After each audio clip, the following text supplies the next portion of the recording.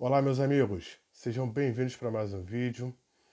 Hoje nós começamos uma série nova no canal, onde eu vou trazer algumas combinações de pedais, né, alguns empilhamentos de drive, digamos assim. E, só que eu vou partir das escolhas de vocês. Então, se você não é inscrito no canal, se inscreva, dê o seu like, curta o vídeo e acompanhe minhas postagens, porque é através dessas votações que eu vou fazer é, os vídeos né, de acordo com as combinações que vocês escolherem, tá certo?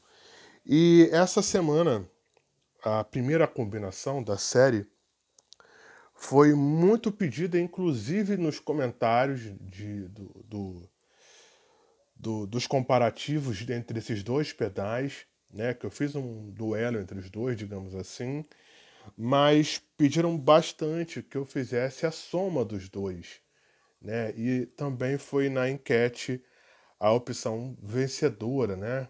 Até o momento que eu fui gravar o vídeo, obviamente. E a combinação dessa semana vai ser o Clone e o Pure Sky, tá? O Clone da Demo Effects, Pure Sky da Karin. E eu já vou começar o vídeo com os dois ligados, tá? E durante o vídeo eu vou trocar a ordem, tá certo? Para a gente ver aí se tem alguma diferença, o que que fica melhor, mais interessante. Eu acho que é um experimento válido, né? E eu tinha feito uma série de primeiro estágio de ganho, segundo estágio de ganho, e você empilhando os drives, você consegue de repente um terceiro estágio de ganho. Né? E aí pode ser interessante né? É, para essa finalidade também. Beleza? Então vamos lá. Vamos ao empilhamento de drives dessa semana.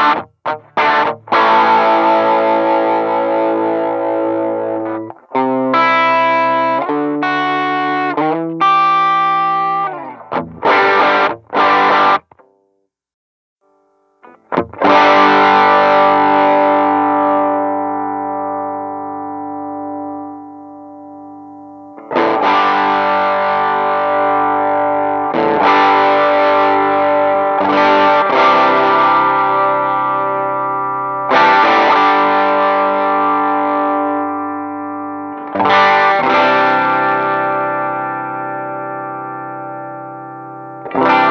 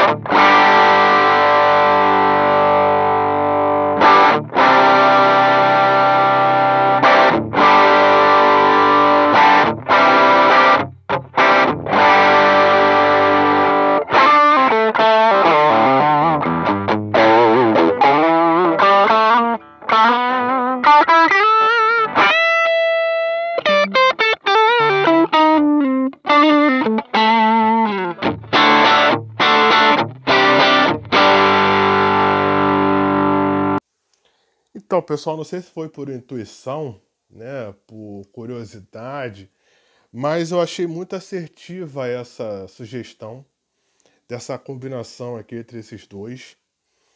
E casaram muito bem, né? E o Chrome é um pedal um pouco mais limitado em relação à equalização, né? Tem bastante volume, o ganho ele interage muito com o volume do pedal. É, não dá para tirar um, um, ganho muito alto dele, né? É, se o volume estiver baixo, por exemplo, né? É, já o Pure Sky, né, que é o clone do time, tem grave, agudo e assim são controles muito, é, como eu poderia dizer, muito eficientes, tá? Você vira um pouquinho grave, você já sente que veio, né? O agudo também, volume tem volume demais, tem um ganho considerável, tá? É, eu até recomendei, né? Primeiro estágio, é, para mim ele é absoluto, mas dá para funcionar no segundo também, né? É, porém, nessas combinações, nessa combinação de hoje, eu preferi o clone empurrando o Pure Sky, tá? Por quê? É, quando eu empurrei o time no clone, é, eu achei que ficou sobrando muito agudo, muito grave. Eu tive um, um pouco de dificuldade de dosar essas frequências.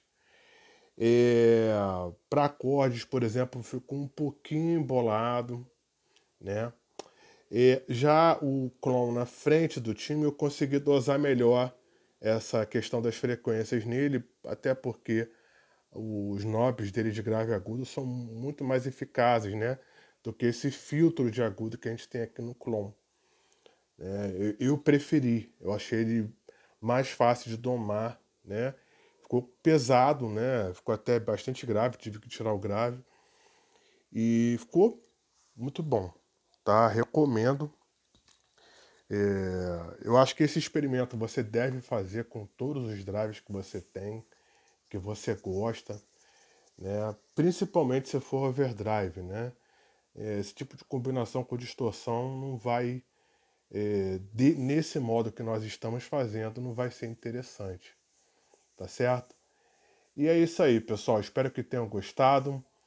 Continuem votando nas enquetes, que é daí que eu vou partir para fazer é, novos empilhamentos de drives, né, com outras combinações. Beleza? Então é isso. Durante a semana tem mais vídeo para vocês. Até a próxima.